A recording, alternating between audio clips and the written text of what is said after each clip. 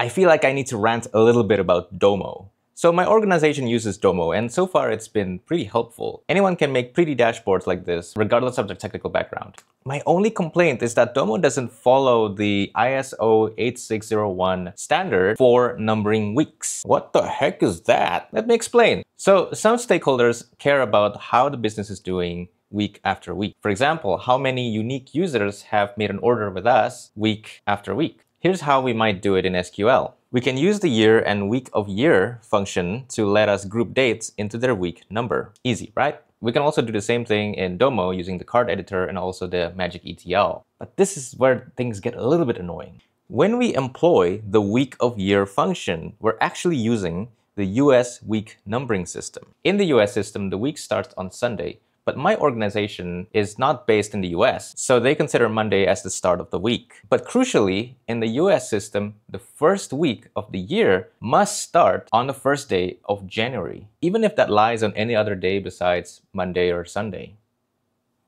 Weird. So that means every year we're going to see partial weeks. It's a week that doesn't span the full seven days. And that's how we will get a weekly number like this, or this, or this. You see, this is why we have the International Standards Organization to help create arguably a better week numbering system. And this allows us to avoid partial weeks completely. Well, someone actually came up with a workaround for this by creating a new column with this formula, which is a good hack, I suppose, but Domo, please fix this. You have customers outside of the US, okay?